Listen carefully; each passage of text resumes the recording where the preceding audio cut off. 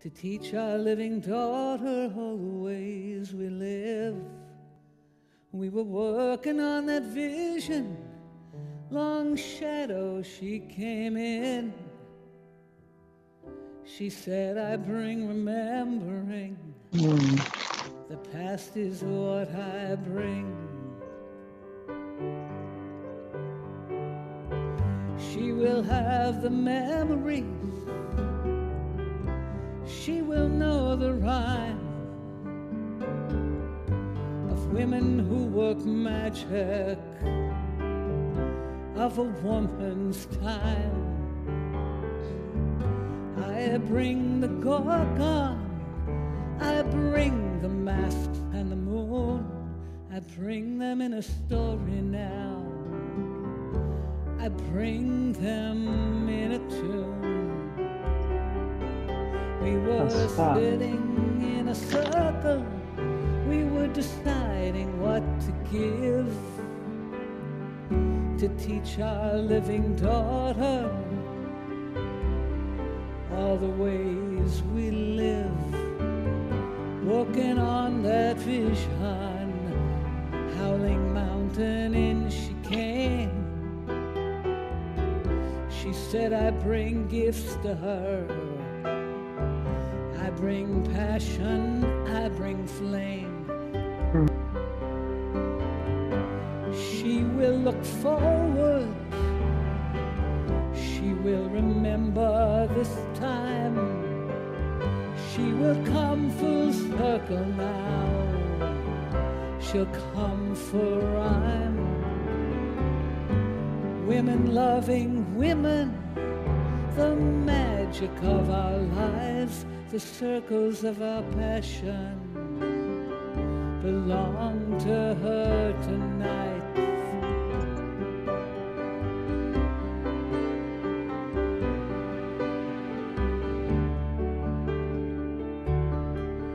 We were sitting in a circle.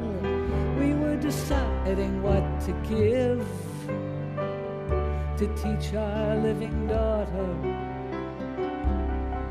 all the ways we live, walking on that vision. Hands on rainbow came by. She said, I'll take her dancing tonight she should learn how we fly. Put one arm around my neck, put one hand on my breast. Here we go, do you remember? Move your shoulders slow. Now take the air in around. Take it round and round your center. I Can't hear you. You can remember dancing in the sky. You can remember we know how to fly. Remember dancing in the sky. You can remember we know how to fly remember dancing in the sky. We were sitting in a circle, deciding what to give to teach our living daughter all the ways we live.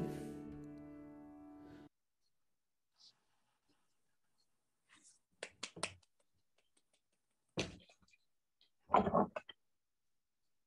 want to see it again.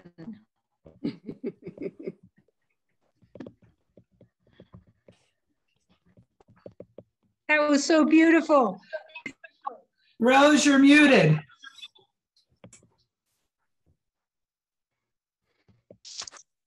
Okay, now that was Linda Shears, Howling Mountain, and we thank her so much for uh, allowing us to use that with those land dyke slides.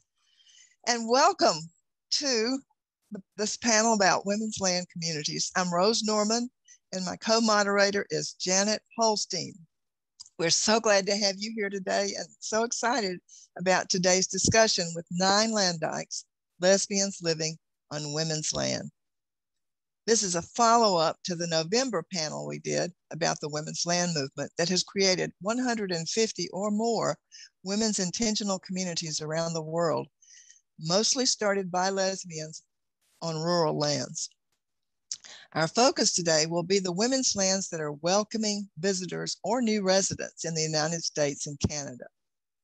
I'll be moderating the panel discussion and Janet Holstine will handle the Q&A session planned to start at the top of the hour. You can put your questions in the chat throughout the presentation and we've already received some questions in advance. The slideshow that you saw at the beginning includes most of the women's lands that you'll hear about today. Uh, we posted the lyrics of Linda Shear's song in the chat. The, um, the simultaneous translation doesn't do a very good job of that. And we will run the slideshow again after the question and answer with Country Dyke songs by Jae Haggard. Uh, we've also compiled a women's land contact list to supplement the women's resource guide, women's land resource guide that's already posted on the OLOC website with the recording of the November panel. The contact list that we're adding provides information about over 40 women's land groups who welcome visitors and or new residents. These land groups are in 17 states and Puerto Rico, as well as two Canadian provinces. And we've also included some information about women's lands in Australia, New Zealand, Scotland, and Wales. The contact information for all of our panelists' land groups is in this contact list, which will be posted at the OLOC website along with the recording of this session today, probably next week. That's oloc.org. If you're interested in visiting any of these women's lands on the contact list or that, or that are described today, be sure to get in touch with them ahead of time to see what their COVID protocols are. Some people are putting off events and gatherings until 2023 and don't really want visitors right now. Today's panelists have broad experience with their own and other women's land groups. I'm going to introduce the panel first, and then Pelican Lee will give an overview of the women's land movement. After that, each panelist will have about five minutes to tell you about her own land group and others she knows about. During the presentation, Janet will be collecting your questions in the chat again. So I'm going to introduce the panelists uh, geographically from east to west. That starts us in Nova Scotia with Treechild. She's with Honor the Earth Women's Land Group on Turtle Song Land Upper Branch, Nova Scotia, Canada. Blanche Jackson, I'm not sure Blanche has gotten here yet. She was having some technical problems. She co-founded Maat Dompim, Women of Color Land near Appomattox, Virginia. Barbara Lieu co-founded Alapine on the Northeast Alabama, uh, Georgia border. Uh, Barbara and others ran the pagoda in Florida for many years, and they are now living in Alapine. In Arkansas, Nancy Vaughn and Diana Rivers are at the Ozark Land Holding Association, known as OLA. Uh, Diana co-founded OLA. Jae Haggard co-founded Outland outside Serafina, New Mexico. Jae is editor of Maize, a lesbian country magazine, which has been keeping up with land dykes since 1983, and they publish a directory of women's lands. Pelican Lee is now at Our Women's Land near Santa Fe, New Mexico, and has also written about Oregon lands in her book, Owl Farm Stories.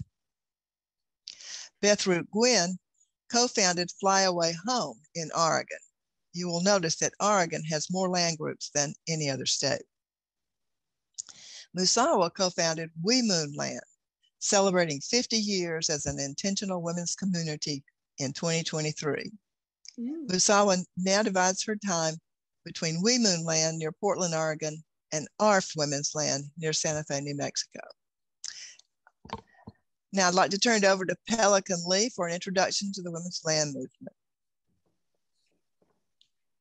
So women's lands started in the 1970s Um, and we called them women's lands instead of lesbian lands because we were wanting to welcome straight women because straight women would come and sooner or later they would come out. so it was a way, it was, it was part of our um, lesbian recruitment. Um, some of us were inspired by the hippie counterculture, back to the land communes. Um, but we didn't want to go there because we knew there would be sexism. So we wanted to start our own. Um, some of us were inspired by women's festivals as um, the first time that they were in all women environments and saw how powerful and rich that was and wanted to live that way all the time. Um, some of us wanted to get away from patriarchy as much as possible. Um, rather than trying to figure out how to live within patriarchy, we wanted to create alternative ways of living. Some of us were separatists and wanted to live lives as much as possible with um, other women and put women first in our lives and liberate ourselves from the male oppressor in any way we could and um, enjoy the safety of being with women and lesbians only. Um, and we wanted to join with each other to find out who we could be away from men and what we could do together as feminists and experience the collective strength of women relying on ourselves together. We wanted to live on land because we wanted to live naturally, wild and undomesticated. We stopped shaving our legs. We threw away our high heels if we had any to start with. Uh, we didn't wear bras unless it was necessary. We wanted to get back to our pre patriarchal roots. And we wanted to live with Mother Earth. Um, and we identified with Mother Earth as being female, just as we were, and subject to being abused and raped by men. And we wanted to live lightly in partnership with Mother Earth and in sympathy with Mother Earth. The, so the lesbian lands, they're all different. They're organized in many different ways. They function in many different ways. There are different belief systems, different goals, different visions, different politics. Um, I'm putting myself out there saying we're all feminist in some form or other. Um, we have different agreements and rules. Some have rules, some don't like to, the word rules, say we have agreements, some have none at all. Um, and there's different issues. Um, when we first started out, some of our issues were around boy children and eating meat and pets and animals. Nowadays, our issues are different than that, but there's still different issues at different places. Um, and there's different ownership arrangements and different ways of financing um, the land and people's lives on the land. Some of them are farming and gardening and some don't. Um, some lesbian lands have only one or two women, sometimes hoping for more to come and create more of a community, and sometimes not hoping for anybody more to come. Um, and some have nobody living on them and are a refuge for visiting. Some are groups, um, and where there are groups, there's many different forms of community and many different decision-making processes. And what I've seen about women's lands over the years is that um, things happen in a cyclic way, just like all of nature. There can be hard times and things can get better and there can be good times and fun times and it's, it's cyclic, just like life. So that's it.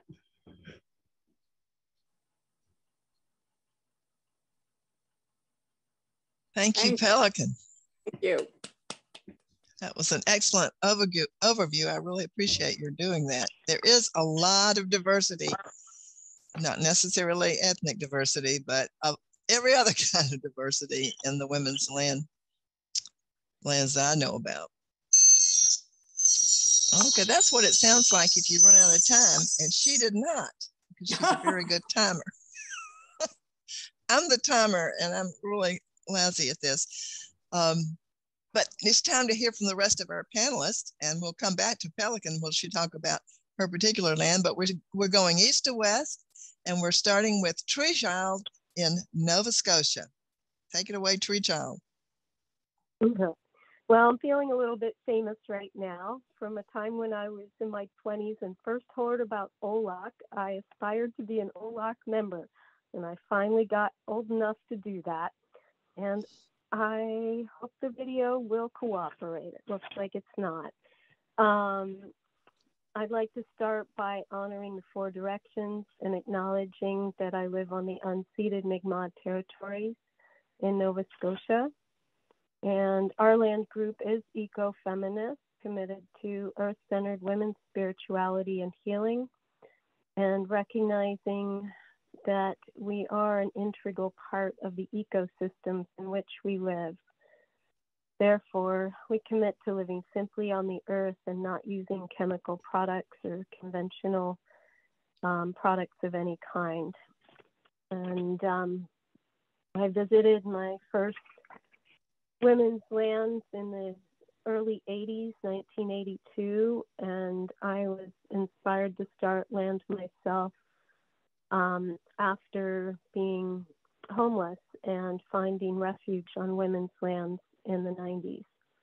Um, so I started the group uh, Accessibility Alternatives, and we got 72 acres in Wendell, Massachusetts, which um, now has 69 acres in Forever Wild Conservation and three uh, lots that are owned by lesbians today. Um, in 2006, a tornado uprooted me from that land, and I landed in Nova Scotia. And that's another story um, where we started Honor the Earth Women's Land Community, and it's a sister organization to Accessibility Alternatives. So collectively, we run a women's needs fund to help women that need help with supplements or health care and things. Um, we had two prior locations in Nova Scotia that didn't work out for various reasons.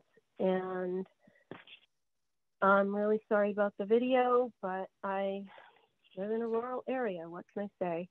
Um, and the the land that we just got in September, we called Turtle Song, and it's 87 acres in Upper Branch, Nova Scotia, which is on the South Shore outside of Bridgewater. And we're planning to put 70 or 80 acres into environmental covenants. Um, there's communal lake access and uh, mature mixed forests and an extensive wetland ecosystem that we're looking forward to protecting. Um, by getting this land, we kept it out of the hands of developers that it was marketed to. Um, that you can canoe and kayak all over the lake. Um, there's three large islands that are owned by the government of Canada with old growth forests on them that are beautiful for camping and exploring. Um, the land has magical standing stones aligned with the four directions and solstice, sunrise, and, e- and sunsets. They're still being located and explored. Um, I've been getting some training around looking for those signs. Um, the rocks in the forest. There are um, three different ways to participate in Turtle Song. You can buy your own lot, which will be part of a neighborhood association and will help us to form the environmental covenants and share them with the greater part of the land. We actually do need to subdivide in order to create environmental restrictions here in Nova Scotia. That's the best way to do that. And we also are in need of support because we did borrow a substantial amount of money from the bank to be able to get this land. So if anyone wants to get a summer home or you know, cottage place or a campsite, um, that's a good opportunity for that. The lots will vary depending on what size you choose. We have not actually um, subdivided yet, although we did put the um, septic test through and we're good with that. Um, but the, the price range would be 25 to 30,000 unless somebody wanted a larger acreage. Um, and that's Canadian, so it's a lot less in American dollars. Um, you can also move onto the land, and any permanent structures that you build would remain with the land, although you could have a 99 year lease agreement to live out your life on the land. Um, you can visit and camp out. The lakefront has a beautiful camping site, and there's two other sites that we're considering developing into campsites as well as tons of wilderness camping. Um, there's also a mile of frontage on the uh, dirt road, Heron Road, which is a private road and uh, goes through part of the land and continues into the land with electricity and internet potential. Um, there's an area where we did the septic test that has like a private driveway off of the road that could be shared by three or four homes um, and has easier access to town if um, people needed that. That's your time. That's your time. Trutel. I was just gonna say, so that's about it. Oh, I'm sorry. I, am sorry. I beat you to it. and I uh, see that Blanche has come into the room. Blanche Jackson right. In Virginia. Take it away, Blanche.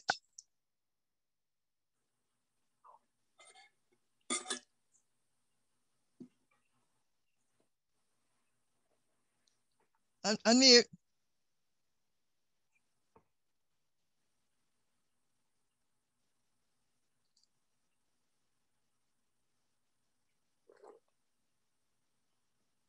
Okay. All right. okay. It's a little less than three acres. It's at moment semi-private and not, but um, not remote. It's it's easy to get to. It has it, good solid areas for parking. I am in the process of planting trees around the perimeter in certain places where it's needed for privacy. And at some point, I would like to get trailers. I have decided that due, uh, due to the uncertainty of our times, it's a good idea to have everything on wheels. I'm not building sheds. I want to get trailers uh, for storage. And at, at, at the uh, part one would be women who are traveling more or less self-contained. I can get them good water. I can get them um, a bathroom with a shower and a flush toilet and a sink and all of that stuff. But um, in the long run, I would like to get small trailers also so that um, women who are traveling together would like their own space for a while. I'm thinking most, oh, the other thing is that we're approximately three miles southwest of DC. And um, a lot of women seem to have a reason to want to go to DC. First two nights would be free. Uh, and after that, one would ha either have to pitch in and do something or um, contribute financially. Donations always accepted. And any questions? Well, we're going to hold questions until until the end. Why don't you Oh. have a you have a minute or so here? Why don't you say something about how Mont Mont Dompim started the women of the one big women of color tent? Oh, by the way, while I was stumbling around trying to find how to get in, I did see the quest, the pre-questions, and one question was, "Are white women invented uh, uh, welcome?" And yes, Euro-descended women are very welcome, and girl children are welcome. And if there's nobody already here who objects, boys under 10, uh, 10 and under are welcome when we get going. But there's a lot of work to do. Uh, how how Maat Dompim got started? Orig originally, we got uh, 136 acres. And the irony of it all is just the way that the Michigan land is working now, that's exactly what we had in mind. Different groups of women organized and produced their own things on the land. That's what we wanted to happen. It didn't happen. Uh, and it didn't happen. so we sold it and bought uh, this slightly less than three acres, which is manageable, which I can do a lot of things myself. just takes longer. Somebody had a question. You might as well go ahead and answer about the name Maat Dompim, and it's spelled wrong in your um. It, it's D O M P I M, right? Yes, the last letter is M. Everybody wants to make it an N. I'll Uh, fix it. what does it mean? Yeah, my Maat is the Egyptian goddess of things like truth, balance, and justice. Dompim, I found this little ugly book and it kept drawing my attention. And according to that book, Dompim means um, people who return to their place of origin. Oh. Oh, I know. and, And you're do I have another business. minute? Yes, go Uh, ahead.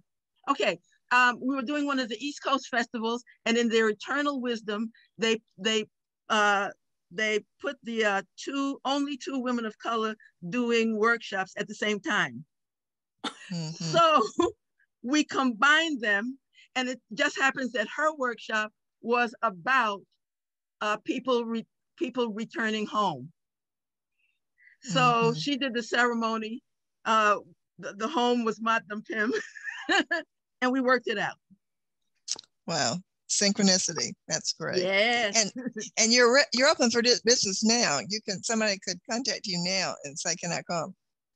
yes, it's not going to be the way I described yet, but there is parking and I can make that bathroom inside the single wide available. I live in the single wide. Okay, great. Thank you. Thank you. Oh, and thank you for going to. I know it was quite a challenge. You've had some technical challenges lately. I appreciate Well, you I don't, I, working them yeah, I don't know what happened. Never mind. that's, that's trying to uh, um, Mercury. Okay. All right. We're going to move on to Alabama now with Barbara Lieu. Hi. I'm Barbara Lieu by,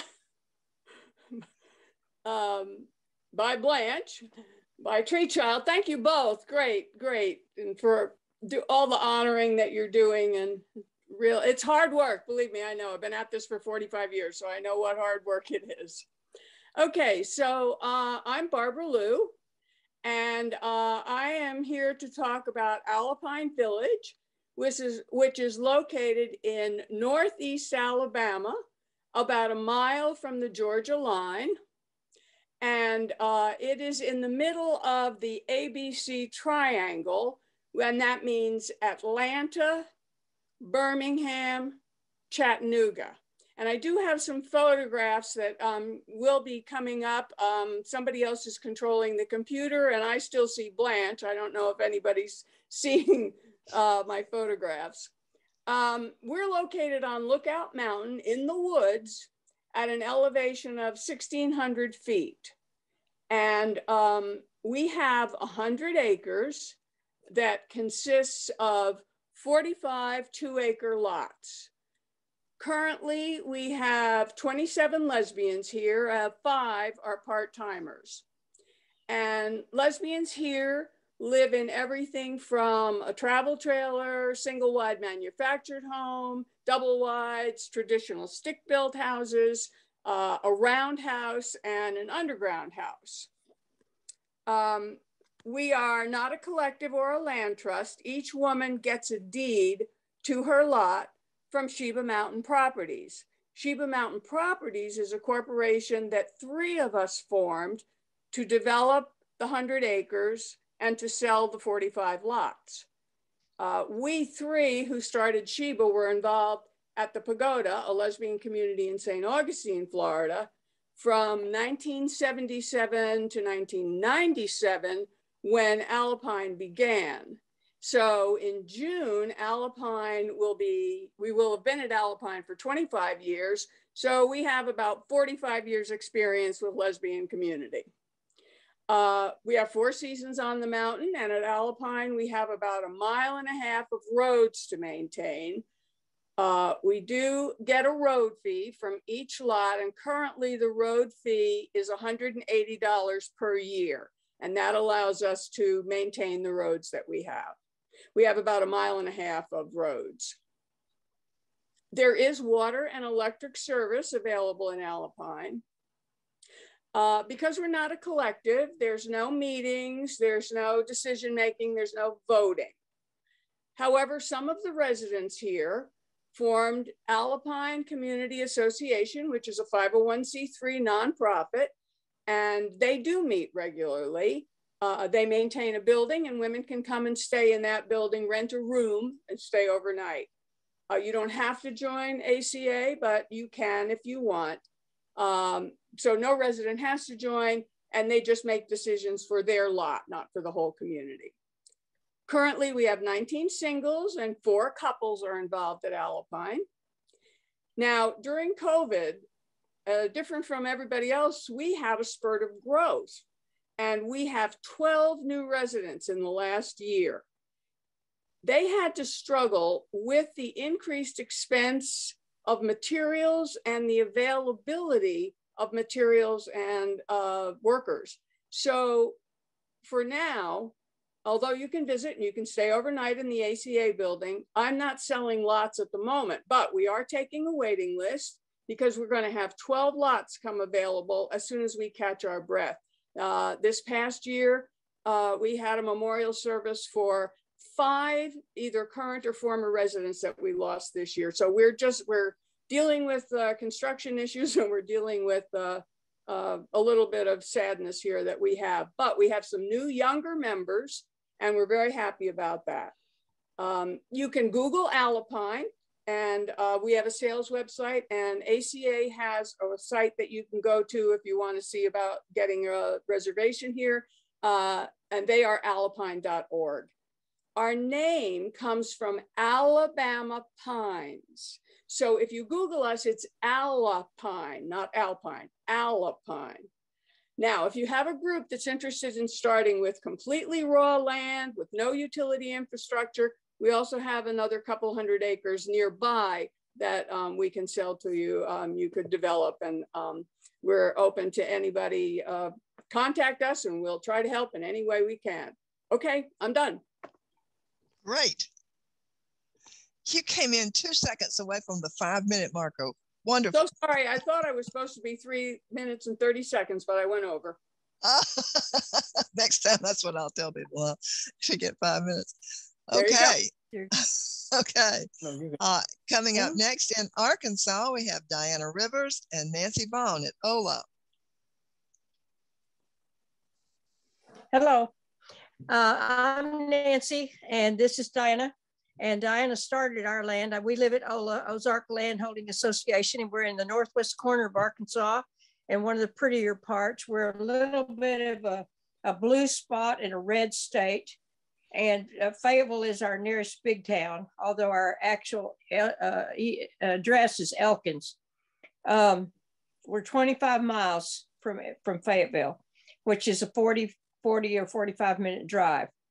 Um, we have currently 16 active members and uh, we have a limit of 20 members on our land, which is about 240 acres with some other attached areas that will not be developed. And um, so we have a, a, limit of 20 members. So there are possibilities of four more memberships available. Um, we've had, we last year was a hard year for us with the COVID and some membership issues. And so we have done some serious, uh, uh, wonderful work with our membership process. And uh, so we think the membership process is going to be easier from this point on. The membership process is um, approximately a year long, just in, in order for us to get to know each other, to see if it's a fit for, for us all. And um, so, um, hmm, um, I also, you know, my my partner died uh, after 24 wonderful years. She died in 2013. And so I decided that I don't need my big two story house anymore. So I did put my house on the lesbian market, but everything got shut down, of course, because of COVID. But if, uh, if anyone is interested in contacting our land, and we do encourage visitors, you know, normally, uh, we're, you know, we have to go as as COVID is rearing its ugly head again over and over. Uh, we have to say yes or no right now, but um, we do encourage visitors and we do have on our contact, we have my phone number, Diana's phone number, and our email address. So uh, contact us and you're welcome to come visit. Uh, there's another land in nearby that's uh, called Cedar Hill and it's owned by Jeannie Neath and Paula Mariedaughter. And they also accept visitors, lesbian, women born women visitors to their land. And they're also on the contact list. Uh, so Diana needs to have a, a turn. She's the one of our founders. She's the one found this beautiful land. And so anyway, Diana, it's your turn. Well, I want to say a little bit about the land because it's so varied and beautiful. There's a steep mountaintop or mountain slope with lots of trees. There are big, long pastures, open land. There's uh, an orchard that we have started planting, which is also our graveyard. And we have two dear friends already buried there. And at the end of that pasture is a cedar grove, which we have used for rituals. Cedar grove with a nice big fire pit that we've used for sacred space, for celebrating equinoxes and solstices and the days between. And then the land slopes down, steeply wooded land, and ends up in a wet weather creek with a swimming hole and humongous big rocks that are quite amazing. It's like being in a park. You can hardly believe this is private land. But anyway, that's, I wanted to say that about the land and across the creek. Well, the creek itself, our part of the creek, is a sanctuary. Nobody can build down there. And it's shared with a semi community across the way that we call Cross Creek where there are several lesbians living and also straight folks, but it's like another community, but doesn't have a community structure, but it's like a sister community. And we share that uh, sanctuary along the creek. And we also have another piece of sanctuary land back in the forest called Ledge Creek that several of us bought up and share. So, um, and we operate under consensus minus one policy. And our membership meetings with COVID challenged our policy and everything about us. Trying to meet when you can't meet is very hard. We all are meeting on Zoom, but it's not really a good format that for, was our notice. For intimate meetings.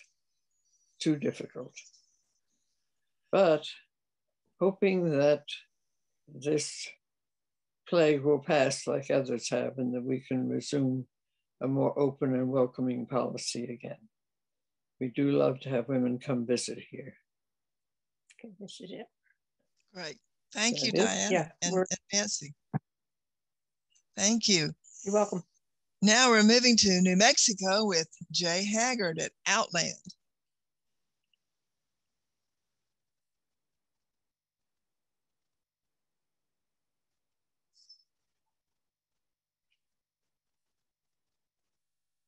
Uh, unmute.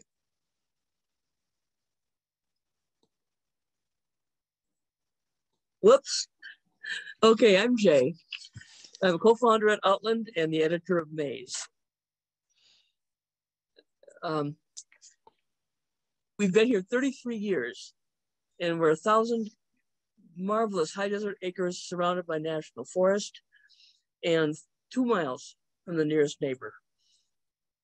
We're a state nonprofit established to preserve the land and also to preserve the land as a home for lesbians. We sponsor and house the New Mexico Women's Retreat, Maize Magazine, and a range of woman, earth, and spirit projects. We are lesbians who welcome lesbians and other women born women, female women. The land. Oh my gosh, the land is just incredible. Um, it's expansive. There's a life force in everything here. It's a life force that not only is present, but it's reaching out to us for connection. The entire land draws us into connection with ourselves, each other, the earth, and spirit. In connection, anything is possible. Creativity, healing, relations um, can flow, possibilities can unfold. In a disconnected society, connection is transforming and revolutionary. We strive to live life as women would imagine life can be, based on our values. Yep, revolutionary. Women are here as guests, as outland caretakers, and as residents to come for weeks, months, or years to experience land life and lesbian community, to do the tasks of the land, to unfold community together, to celebrate lesbian culture and each other. There are anywhere from three to eight of us here at any given time with a spectrum of ages, cultures, and abilities. And we've had the last two, three years, a lot of young women, young lesbians in their early 20s. We welcome women as guests, as outland caretakers, and as potential residents. And welcome you to experience what it means to live on land, what needs to be done, to learn the skills and the tool use and, and everything to be self-sufficient on land, to develop um, relationship and communication skills. A lot of steep learning curves on land. We are here to unfold a connected and fun, nourishing life and do it all together. We have eight sweet woman-built adobe casitas available and camping is possible. Part of what's so precious about Outland for me is the tone. We celebrate ourselves and each other. When any and you or I walk into a room, we want everyone to stop and say, "Oh, wow, hooray, you're here!" You know, just that appreciation. We encourage each other to expand into our biggest, most authentic selves. To to be real. Uh, being real is maybe one of the most difficult things we do in this society. Back to connection. In a disconnected world, what we're doing on women's lands is world changing and world creating. We are a life culture. We create profound change working on the physical and the energetic levels. With all of our best energy going into unfolding possibilities for ourselves, each other, and creating that world we know is possible. We welcome you uh, to experience land life, and lesbian community. Whoever is here is our community, plus so many others who are here psychically and energetically and who come physically as often as they can. We invite you to share this remarkable land with us, to help create and experience life as women know it can be. Come live your values, live your dreams, celebrate yourself, other women, celebrate life. Come help create and maintain this amazing space. Contact me, jhaggard at gmail.com. I'd love to talk with you. Come when you can. Come as a guest, come as an outland caretaker, or come to assist me uh, personally since I've been having health challenges the last couple years. We would love to share this remarkable land with you, to share this life with you. We hope you come. We hope you'll contact me. Come, be outlandish. Thank you, Jae. You certainly do make that sound outlandish and wonderful. Thank you so much. Also in New Mexico, um, Pe Pelican Lee will speak about it, uh, ARF Women's Land. So ARF is in northern New Mexico on the ancestral lands of uh, Pueblo. And it is unique because it is very close to town, 20 minutes to Santa Fe. So it makes it easy for women to live there and, and have jobs in town. And also it um, makes it easy for lesbians in Santa Fe to get to ARF and easy for circles, potlucks, events, work parties. And we have a wider community of town lesbians who come for many things.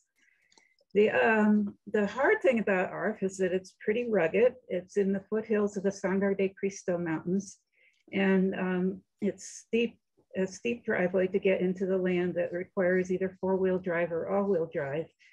But also you can walk down this hill and I do that all the time. It's about maybe a city block long and keeps me in shape. um, you can't drive to most of the houses once you get to the bottom of the hill. And um, there's a mile and a half of dirt road before you get to our driveway that sometimes becomes impassable right after snowstorms, but um, there's a place to park and walk in maybe a half a mile. And many of us have done that many times. Um, there's a creek at the bottom um, with the steep hillsides on either side. And because we've had 20 years of drought, the creek that used to be year round is not always year round, hardly ever anymore. But um, because it's there, we have um, unique vegetation that is on the valley floors in New Mexico, which includes cottonwoods, oaks, willows, um, pine, ponderosa pine, many bushes and wildflowers. And then our hillsides our typical high desert pinyon and juniper woodland, which you saw on Jae's screen. It's 25 acres owned as a land trust, which is a not-for-profit um, that has 501c3 status, and the land is all paid for. It's completely off the grid, and most of the houses have solar electricity. There's um, 12 cabins, tiny houses, adobe houses, most of them are on the hillsides and all of them are women built. Each house has a pretty long history of various women who've lived there over the years. And um, often when women move into a house, they'll improve it and do a little remodeling and make it better. We have a main house um, for meetings, parties, events, and as a resource. And somebody lives in the main house um, to keep it up and with the agreement that it gets used for all those other things. Um, we recently had a well dug and anticipate new possibilities, including a bathhouse that we're starting to talk about and figure out what, how we want to do that. Um, most of the houses have cisterns for rainwater collection, which is what we've been using for over 40 years. There's some cell phone coverage on the land and some internet. ARF was established in 1977 and many, many lesbians have lived at ARF over the years and many have more have come to enjoy the land and camp there. Currently, we have 12 members with three more in our membership process to become members. Uh, since Barbara mentioned about Alapine, we have three couples, everybody else is single. Our ages range from 55 to 82. Um, we raised children at ARF in the 1980s, both boys and girls. And we found out that the boys, after uh, when they got to be a certain age, they didn't want to live on women's land anymore. We never had a policy about it. Um, we make our decisions by consensus. We have meetings more or less monthly, maybe more in summer, um, less in the winter. There, except for now we're doing Zoom like everybody else.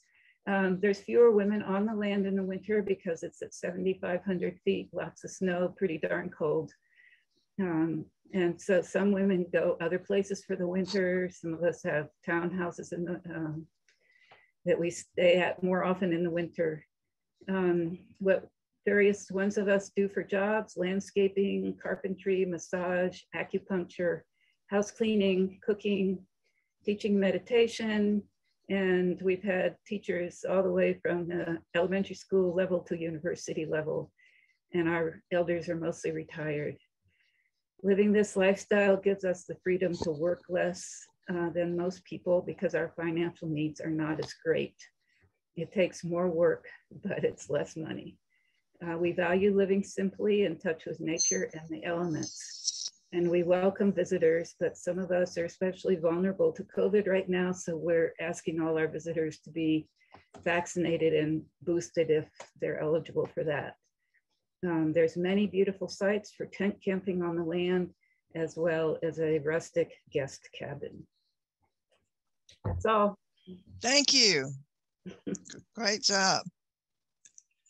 And you've done double duty here. So next up is Bethroot Gwynn, who will be talking about two Oregon lands.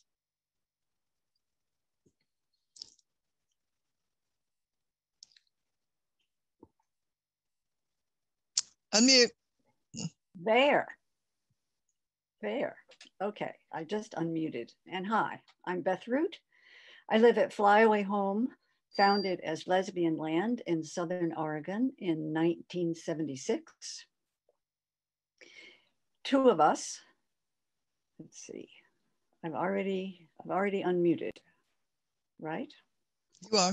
Did you hear those introductory comments? I already had unmuted, but it sounds like I didn't maybe get on.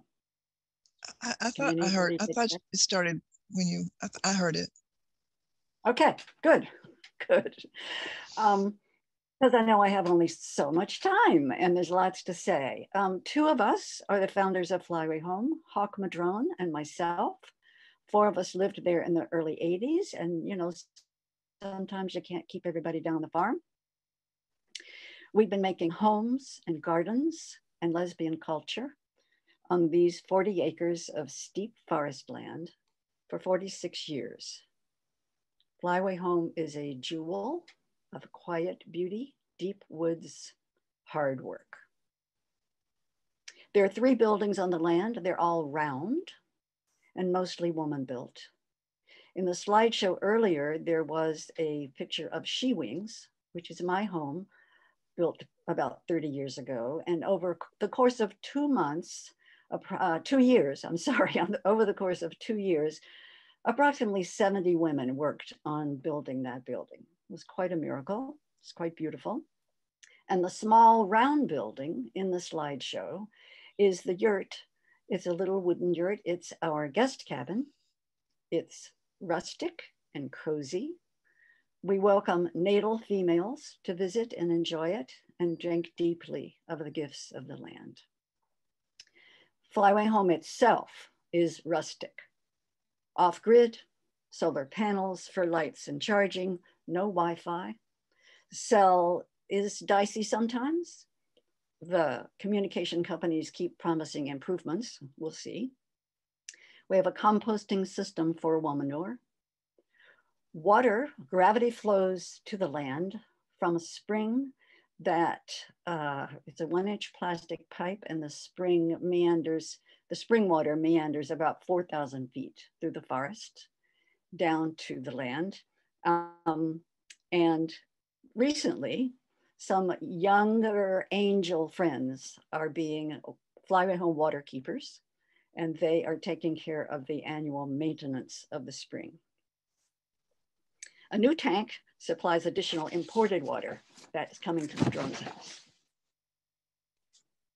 Flyaway Home is home to spiritual gatherings that women come to. We circle, usually up at She Wings, every solstice, every equinox, Hallowmas, and we sing our hearts out, praying for the earth and all her life forms, celebrating women. I see, I invoke Flyaway Home Women's Temple, carrying on this sacred work on and on beyond the lifetimes of those of us who mother it now. Meantime, and while we're still kicking, impressively so, I must say, yes, come visit. Move straw bales if you're up to it, stack firewood, write those poems, sketch that bird, laugh, sleep, discover, dream. Info and the contact list about Flyaway Home and about Owl Farm over hill and dale is Flyaway Home's nearest women land, women's land neighbor, Owl Farm. Also rustic, um, solar panels, no Wi-Fi, compost privies, dicey cell, and also founded in 1976. Owl Farm was founded by the newly incorporated Oregon Women's Land Trust in 1975. It's the first women's land trust anywhere that we can find out anything about. a nonprofit committed to preservation of land, access to land and land wisdom for women. I'm a longtime board member. Owl Farm is radiantly beautiful land, 147 acres with a wide sweep of meadows framed by forested ridges that reach high into the sky. Like Flyaway Home, I said this already, it is in a remote location, off-grid solar panels, etc. There is very good news from Owl Farm. After a 15 year struggle, we and other environmentalists in Southern Oregon have stopped a major fracked gas LNG pipeline that would have impacted Owl Farm big time. And I'm going to name Frances Etherington, who's president of uh, Oregon Women's Land Trust, as an environmentalist. And I tell you, the logging companies quake in their boots when her name is mentioned. She saved thousands of trees. Other good news. There are recent new energies and activities at Owl Farm, new women on the board, a vigorously active farm team, new work parties and workshops. Changes are ahead.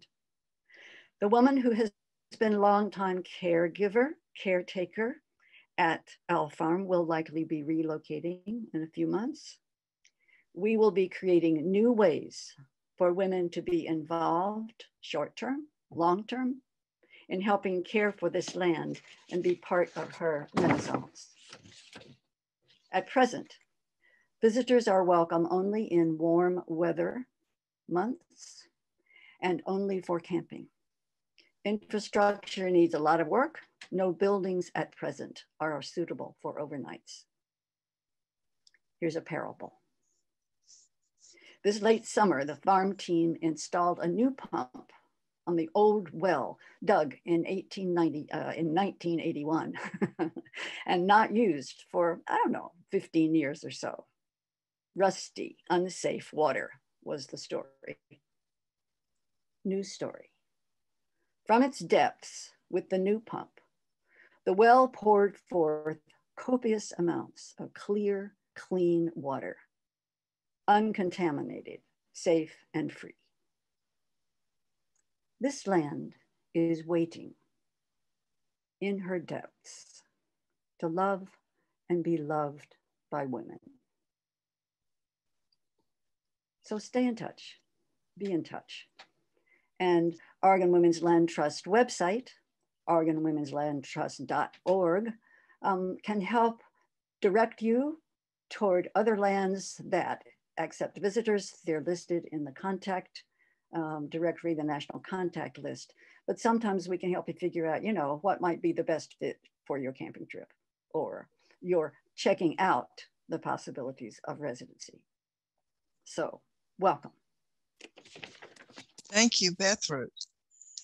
And our last panelist, Musawa, is at Wemoonland, also in Oregon.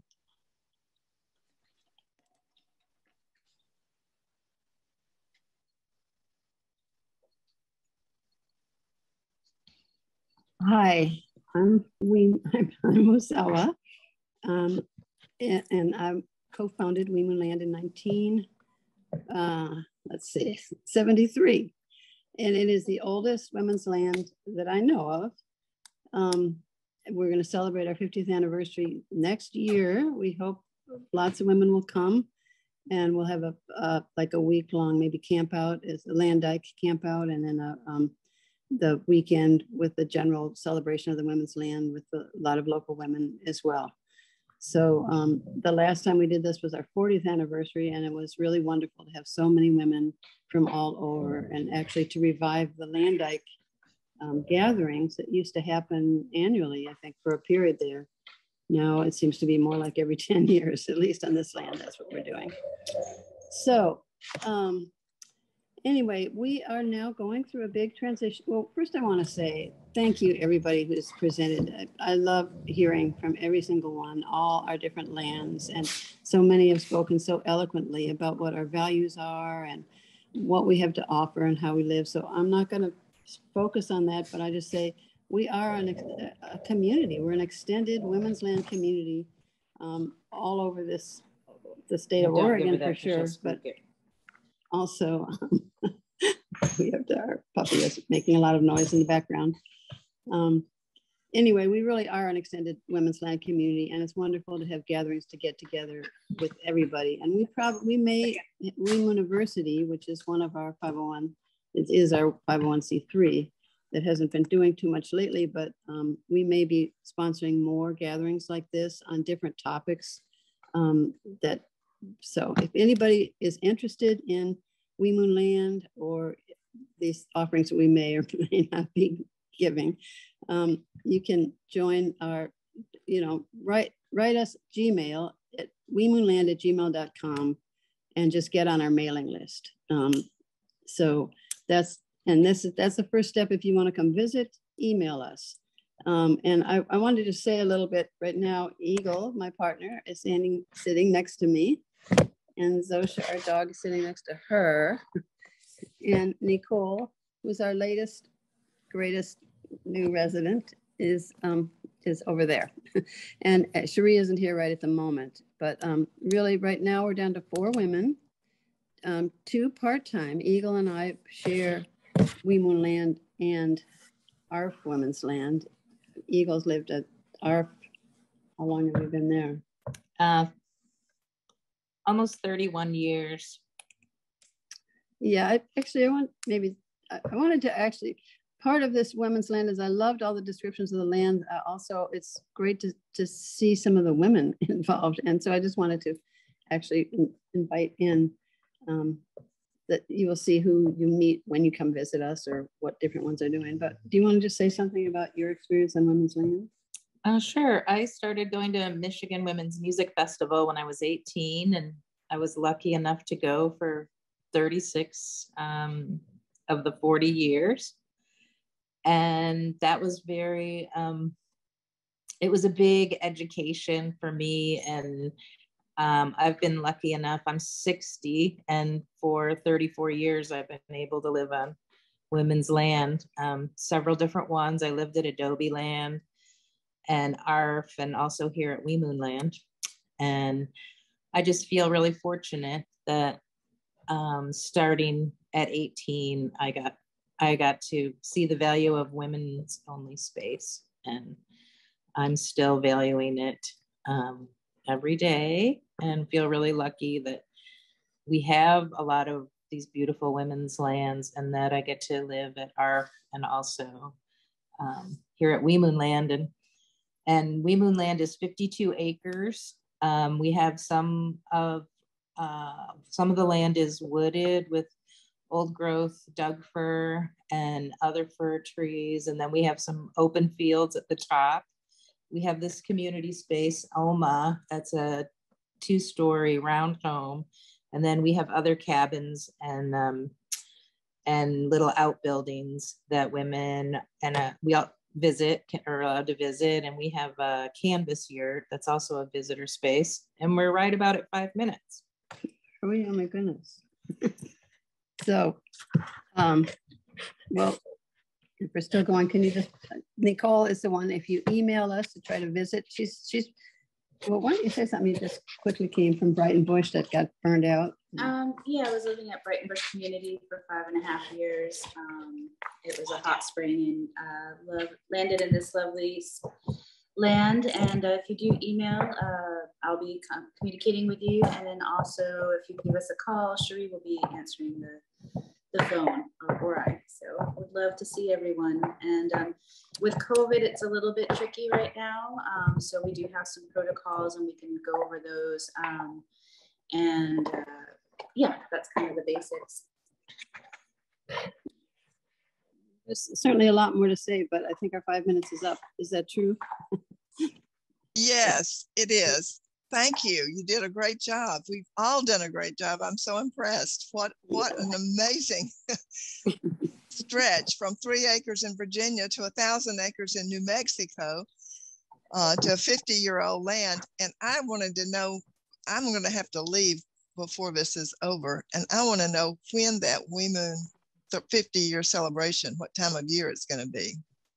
It'll be it'll be in the summer. It'll probably be probably summer solstice and 2023. yeah, one thing I'm imagining is that might be a time to come from different parts of the country and visit women's lands. Maybe the time between summer solstice and the Interdependence Day um, Mhm. could be a time that other lands might be opening up in Oregon for to women to visit too. So in conjunction with coming for the big gathering um, on the 50th, which we don't have the date pinned down right now, but that's the time. That's the. Right. Summer, summer.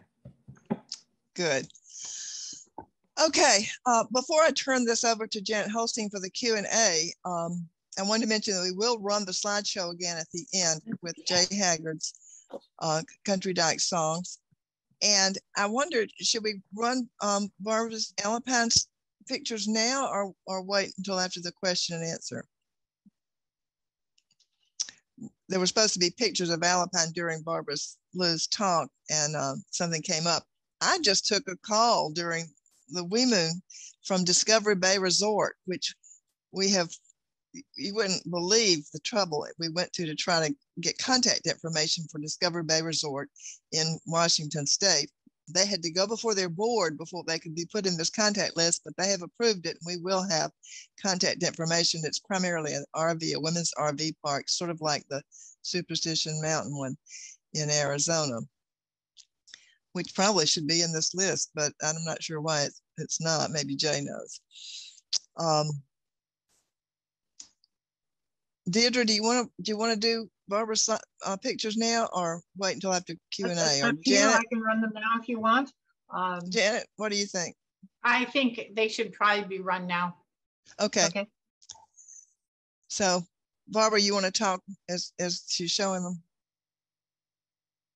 I can unmute myself. Look at that. I'll say a word or two as they go by. They, they uh, Deirdre said they'll be up for about eight seconds, so I'll try to fill the eight seconds and narrate. the- Actually, I sh- after I messed it up, I shortened it in case we did want to run it. So it'll go it'll go more like it did hopefully earlier. Sorry about that. I had an unexpected and very important phone call that I'd had to take. So that just understand. bollocksed up my brain. Here we go. And here we go. Yeah. So this is Alapine Village, which is on 100 acres. We have 45 two acre lots, and women asked, um, "Are there any houses for sale?" And there aren't. If a if a lesbian uh, is not able to stay in her house, we usually have somebody on a waiting list for the house because we're still developing lots. It's raw land, although we Oh, have. okay, just a minute here. Hey, Barb, hold up a second. She's trying to get the slides up. Yeah, I'm just filling time. Yep. Okay. Questions that came up. Sorry um, about that. Just a minute here. I've got too much on my screen. So that came up in the to- chat. So no, I don't have any houses at the moment. Um, and um, like I said before, we have a wide variety of things, uh, everything from travel trailers to an underground house.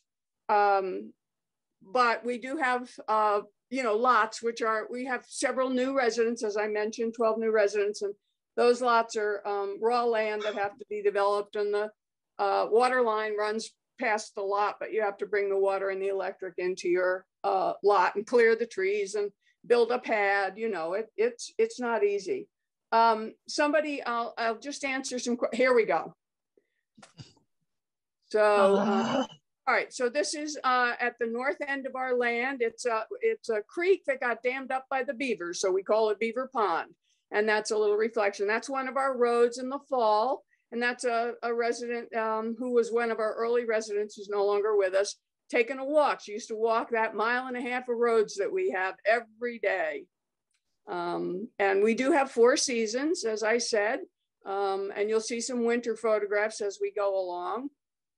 Um, we do road maintenance, and I mentioned, uh, now I'm going to repeat myself. I mentioned that the, uh, each lot pays $180 a year for uh, into the road maintenance fee. That's our plat. That shows our 45 lots and the roads that we have.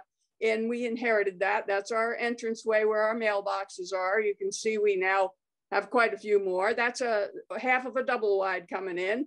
Uh, that happens to be my double wide, which I bought used. And where we are uh, on a boundary, we have a fire break. Um, we got a, a fire break all the way around the property. Uh, we have we got a grant for directional signs. That's that road that she was taking a walk on there. It's uh, road maintenance going on, getting some rock laid out on the roads. Uh, that's a little pond we have in the middle of the property that was a creek at one time. Um, one of the houses in the wintertime, and uh, then that same house in the summer with the flowers growing. And there we are at a uh, solar eclipse. We're all looking up at the sun with our proper uh, glasses on, and that's a gathering for a memorial that we did. Um, and that's Alapine Village. Thank you for running it, Deirdre. I really appreciate it. We are land women, we are land dyke women, living with the land. We are land women, we have landed women, always doing all we can. Dreaming can do candid women, hopeful, careless, wind tanned women, giving, growing, wizened women, living hand in hand. Remember. all we can. We are land women, we are land dyke women, living with the land. We are land women, we have landed women, live with dikes, birds, trees, and sand, gardening, laughing, weaving women, farm community, lonely women, quiet talking, moving women, living hand in hand, being all we can. We are land women, we are land dyke women, living with the land. We are land women, we have landed women. In our diversity, we are grand, wrinkled, playful, knowing women, mourning, heartful, building women, singing, working, opened women, living hand in hand, being all we can.